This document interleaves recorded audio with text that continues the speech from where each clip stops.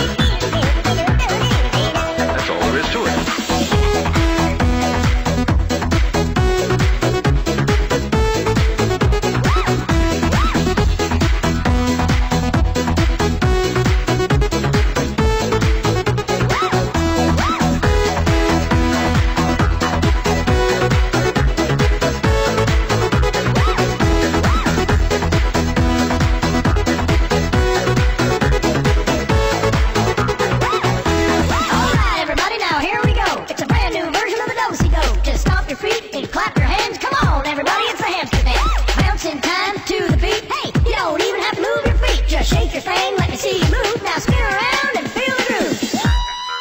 Let's try it.